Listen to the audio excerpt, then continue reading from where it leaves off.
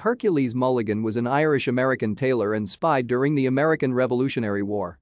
He was a member of the Sons of Liberty.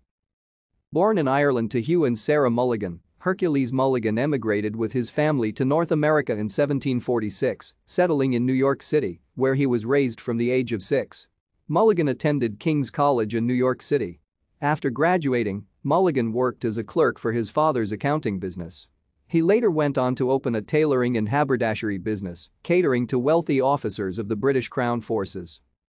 On October 27, 1773 Mulligan married Elizabeth Sanders at Trinity Church, established by the Church of England.